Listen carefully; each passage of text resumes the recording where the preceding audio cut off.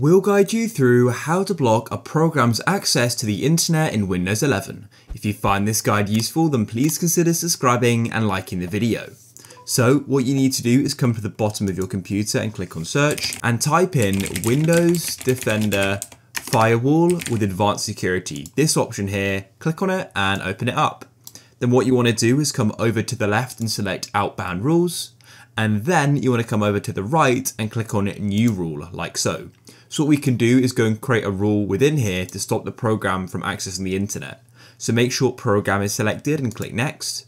We now need to go and get the program's path. So to do this, come to the bottom and click on search and then search for the program you wish to go unblock. In this case, I'll do OBS Studio.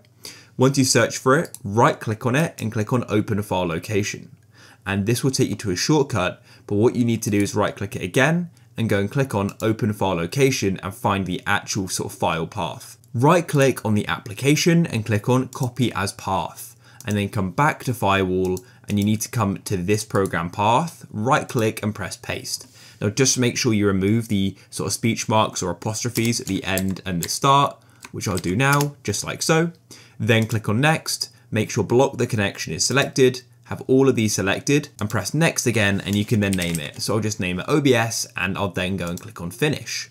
Now, when I try and open up OBS, the internet connection should be blocked. Now, when I go and open up OBS like so, you'll go and get this pop up here saying fail to load channel information for Twitch as it couldn't connect to the server. If you want to cancel it though and allow access to the internet again, select it and come over to the right and what you can do is disable it or completely delete it.